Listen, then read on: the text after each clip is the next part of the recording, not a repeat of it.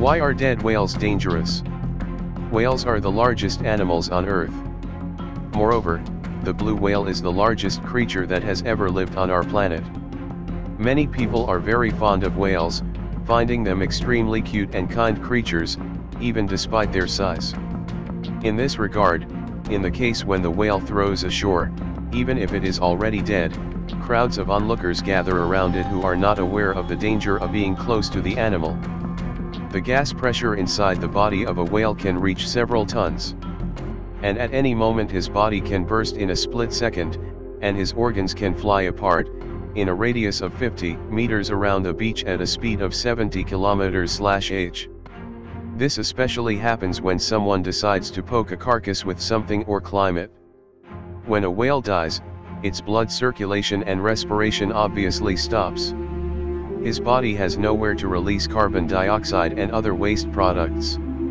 This process increases the acidity in the cells, they lose their structural integrity and the tissues begin to break down. In addition, the bacteria that enter the body of the whale begin to multiply, forming carbohydrates in the body, lipids, and proteins. This process is putrid, which leads to liquefaction of organs, the formation of various gases such as carbon dioxide, methane, and nitrogen in the body of the ocean giant. Gases cause overload of the corpse, which affects its size. It happens that the body doubles. At a time when the pressure in the body of the whale becomes too high, gases begin to escape from natural openings such as the nasal cavity, mouth, and anus. This is a normal decomposition process that is common to all living things, including humans. The problem is that this process makes the size of the whale potentially dangerous. The greater the mass, the more gases, therefore, the greater the pressure.